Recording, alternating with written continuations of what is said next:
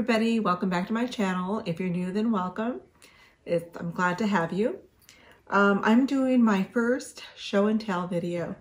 So I'm going to start showing, I don't know how often I'll do this, but um, I thought I'd do some videos uh, showing you some of the items that I collect. So I'm going to start today with my nun collection. I have nuns and I also have a few little, um, oh, what do you call them? Monks.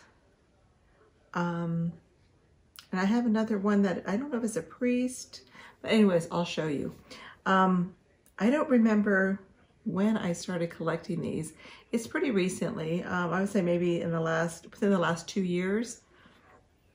I don't remember which one was my first though. Um, I picked up these nuns, these three little, remind me of the flying nun uh, at a yard sale. So I thought these were adorable. I had picked up two sets of the, or two of these. Um, I sold one and I kept one for myself. And it was made in Japan. And this is that paper mache, like um, composite.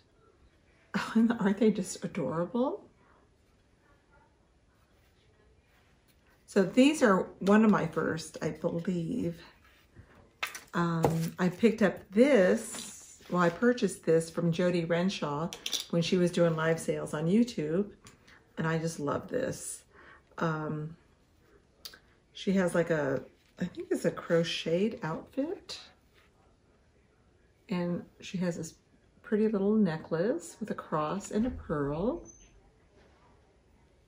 And she's just beautiful. I just love her. She's one of those sleepy eye dolls. Isn't she pretty? And there was a little note attached to her. I imagine that's when Jodi picked her up. It says, Nun doll from Grandma Russell's, from Grandma Russell's Treasures, December 29th, 1978. So I'm going to try to keep that with her.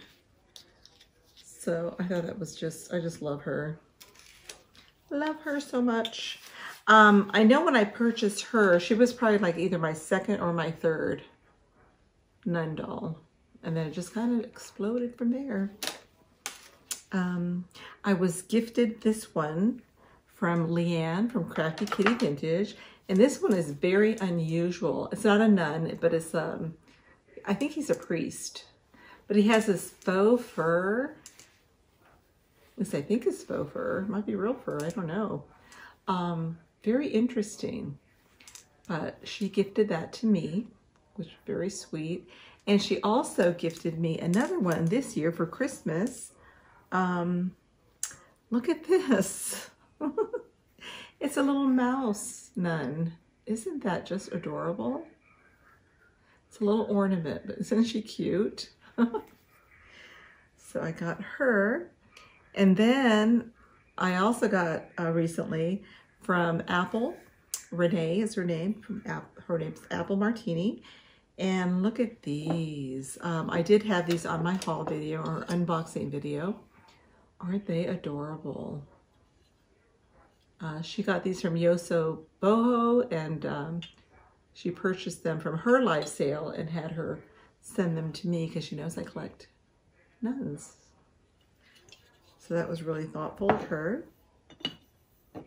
And then I'm not sure if I got any other ones that were gifted to me or if I purchased these. Um, these are the little monks. And I have another one. Oh, I have to go get them. I think I have a larger one. Very similar to this. So cute. These are Goebel, uh, made in Germany, West Germany. And I got these little ones. Look how cute these are. I don't know if these were gifted to me. I can't remember. And that, that that's sad um, that I can't remember. I'm trying to think where these were made. I think, oh, these were made in Japan. These are little tiny ones. They're porcelain. Aren't they cute? And then these, again, a lot of these I don't remember where I got them.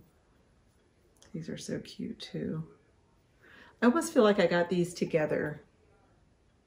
I know I did um, I did purchase some of these on eBay, some on Whatnot. I don't remember if I did any on from a YouTube reseller. I believe these two came together. They look like they go together. These are beautiful too. I love these. She's got the crucifix and she's reading the Bible. They are so sweet. Just love these. Ugh. Sweet little faces. And then these two have really sweet faces. These are, um, well, let me show to you first.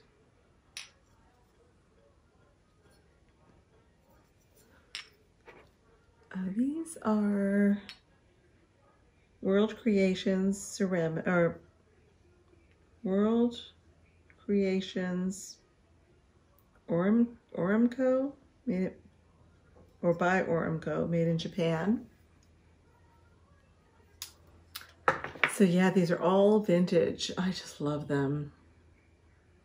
And then I also have this one, this trio. I think this was, I don't remember if this was Whatnot or um, could have been eBay. Now this is a music box. Um, it does work. It's kind of slow. I don't know what this tune is. Made in Japan. Oops, it's kind of out of tune.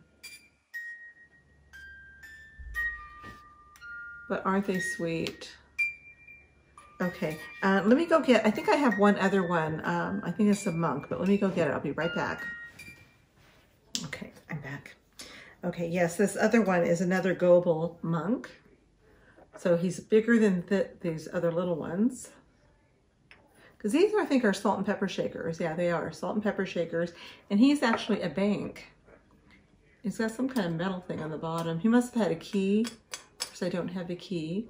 But I use these as figurines anyways. So, and then I had one more nun. Uh, she does have something broken. I don't know what she was holding.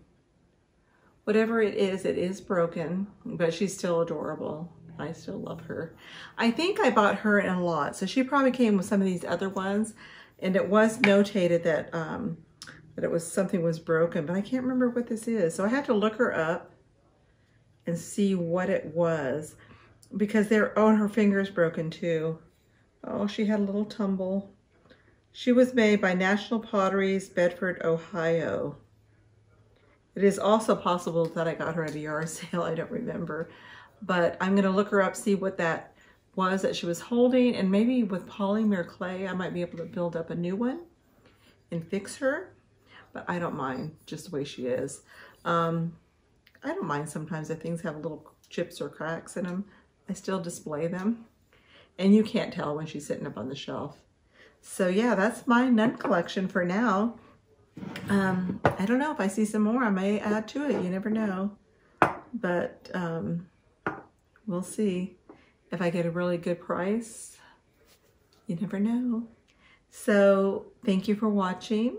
Um, I'm not sure what my next show and tell will be, but um, We'll see. Tell me what your collections are down below in the comment section. I'd love to hear what they what you collect.